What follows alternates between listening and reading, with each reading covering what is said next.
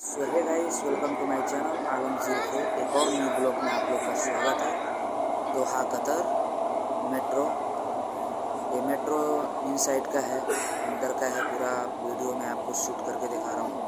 आप देखिए metro manual में यहाँ से चलता है और ऑटो में ऑपरेटिंग दूसरे जगह से होता है। यहाँ पे ड्राइवर नहीं बैठता है, ठीक है? यहाँ पे इमरजेंसी चला सकते हैं आप मैनुअली में। देख सकते हैं इसका पूरा मीटर है। सब बताएगा कितना स्पीड से चलता है, क्या है। आप लोग वीडियो को शेयर करिए लाइक करिए।